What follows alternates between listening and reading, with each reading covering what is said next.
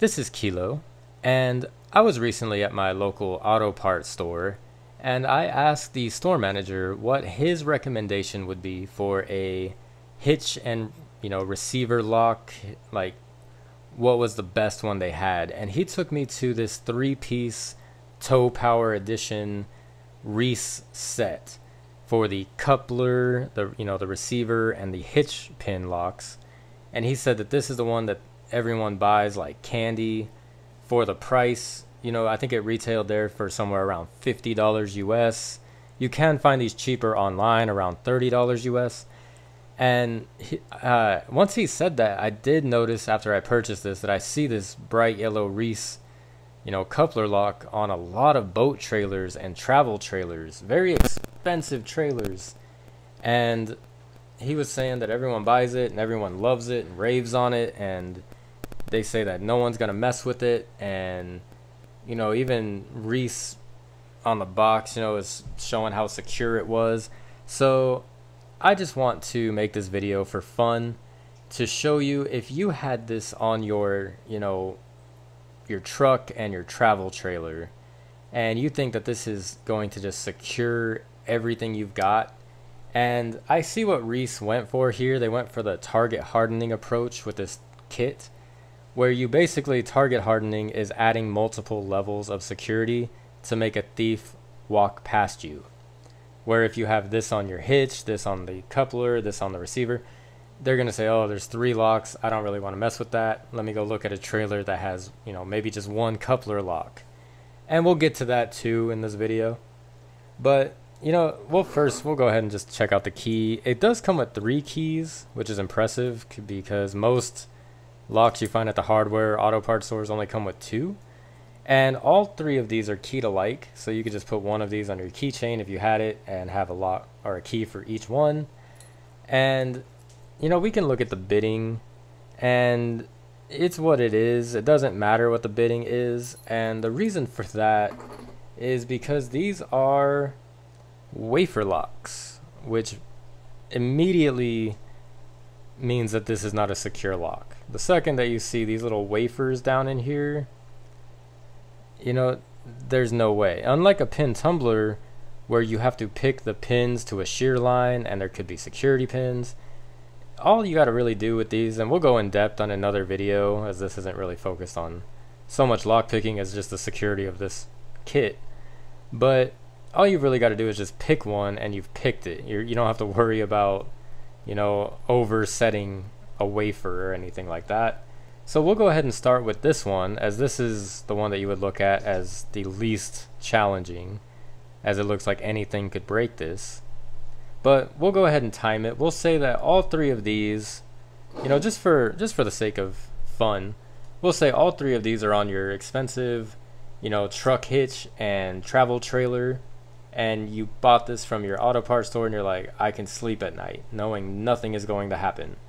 So we'll say that a thief comes by with just, I'm going to use the, I believe they call this the offset hybrid. It's just a hook, a variation of a hook lockpick. And this is from the Dark Shift collection from Sparrow's Lockpicks.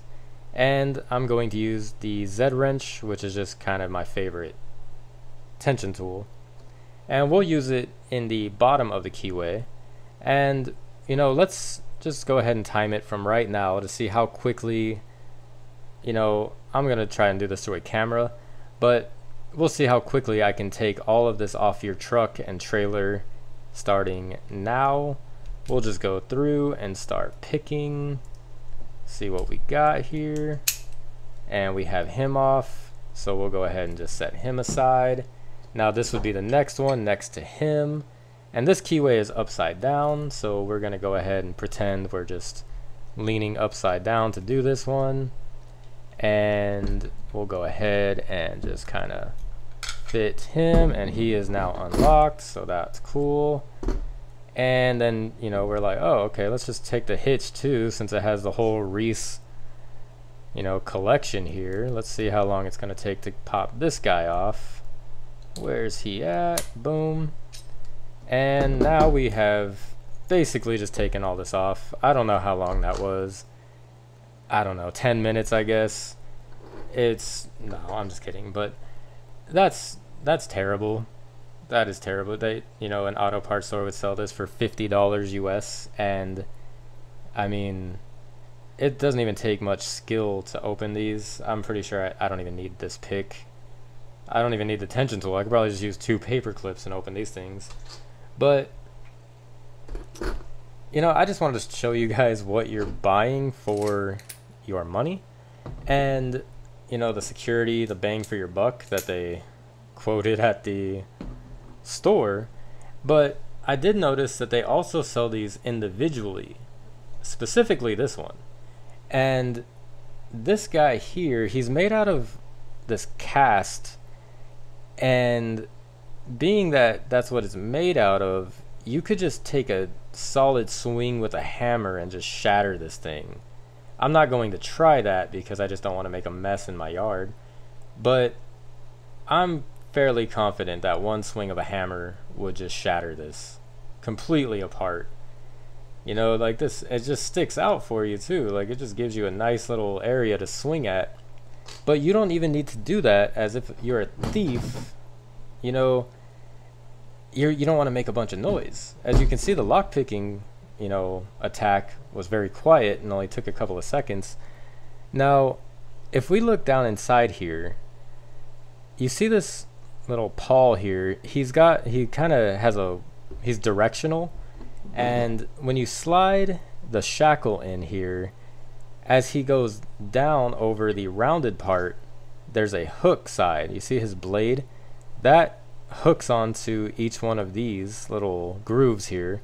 And it basically kind of acts like a, you know, like a rose bush, you know, where like the thorns go one way, but when you go to pull your arm out, it basically is like a barb and it prevents you from really pulling your arm out of it without being scratched to death.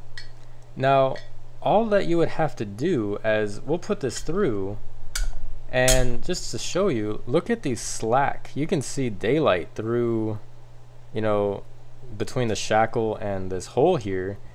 And if you really wanted to, you know, be quiet about it, you could do what we did in this video uh, right here.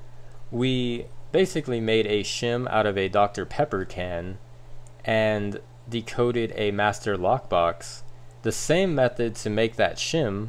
In this case, I'm just going to go ahead and use my ultra decoder tool from Sparrows. It's the same thing. If you don't have this, you can go to that video and make yourself one of these out of a beer can or a soda can. And all that you have to do is, you know, this is going to be sitting on the, you know, receiver.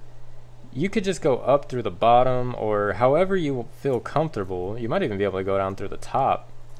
And if we fit him in through the slack and just kind of work him around, let's see if we can go in through the top. It might be easier through the bottom, but let's find out. Let's just go ahead and kind of dance him around.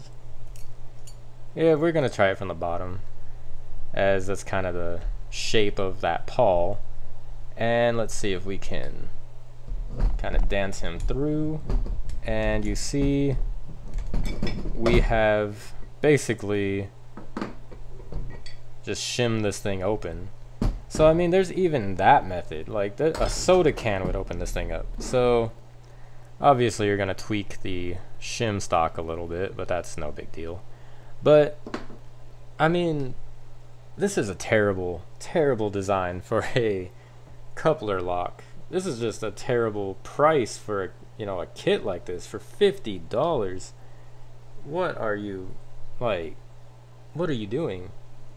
You know, at that price, at least, you know, make this a pin tumbler. Like, you don't even need security pins. Just at least make this a challenge for somebody and don't just make this out of cast you know what i mean and the slack like this is poor design all around like i have nothing good to say about this this is just what it is i mean no one's ever going to look at this and even if that thing had security pins and was a pin tumbler i mean look at it but i mean this is probably the only one that's worth anything and like i said it's a wafer lock so that makes it not really worth anything So if you purchase this from your auto parts store and you let them tell you that this is a very secure kit and you can sleep soundly at night, they lied to you and you should take this back immediately and purchase something much better for the price. There are for that type of price, there are better options. And for just a little bit more, like you got to think if your travel trailer your boat trailer is worth tens of thousands of dollars, you know, putting a $50 coupler lock on it isn't really ideal. So you kind of got to, you know, weigh it there.